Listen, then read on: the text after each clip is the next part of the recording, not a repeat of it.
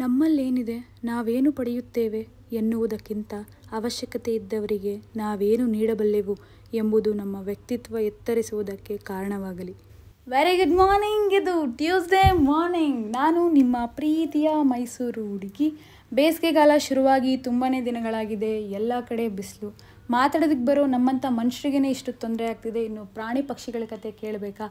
ಆದ್ದರಿಂದ ನೀವೆಲ್ಲರೂ ನಿಮ್ಮ ಮನೆ ಮುಂದೆ ಆಗಲಿ, ಖಾಲಿ ಜಾಗದಲ್ಲಿ ಟೆರೆಸ್ ಮೇಲೆ ಬಾಲ್ಕನಿ ಮೇಲೆ, ಎಲ್ಲೇ ಆಗಲಿ, ನಿಮ್ಮ ಕೈಲಾದಷ್ಟು ಚಿಕ್ಕ ಕಂಟೈನರ್ ಆಗಲಿ ಅಥವಾ ಬಾಟಲಲ್ಲಾಗಲಿ ಒಂದು ಡಬ್ಬಿಯಲ್ಲಾಗಲಿ ನೀರನ್ನ ಶೇಖರಣೆ ಮಾಡಿ ಇಡಿ. ಅದರ ಜೊತೆಗೆ ಸ್ವಲ್ಪ ಧಾನ್ಯಗಳನ್ನೂ ಕೂಡ ಇಡಿ. ಇದರಿಂದ ಪ್ರಾಣಿ ಪಕ್ಷಿಗಳಿಗೆ ಮಾತ್ರ ಉಪಯೋಗ ಆಗೋದಿಲ್ಲ. ನಿಮ್ಮ ಮೆಂಟಲ್ ಪೀಸ್ ಕೂಡ ಇಂಪ್ರೂವ್ ಆಗುತ್ತೆ. ಹಾಗೆ ನಿಮ್ಮ ಡಿಪ್ರೆಷನ್ ಲೆವೆಲ್ ಆಗಲಿ ಆ್ಯಂಗ್ಸೈಟಿ ಲೆವೆಲ್ ಆಗಲಿ ಕಡಿಮೆ ಆಗುತ್ತೆ. ಮತ್ತು ಇವತ್ತು ತೇಜಸ್ವಿನಿ ಅವರ ಹುಟ್ಟುಹಬ್ಬ. Happy birthday Tejaswini. ಹಾಗೆ ಯಾರೆಲ್ಲ ಎಕ್ಸಾಮ್ಸ್ ಬರೀತಿದ್ದೀರ, ಅದು ಯಾವುದೇ ಕ್ಲಾಸ್ದಾಗಿರಲಿ all the very best thank you bye good night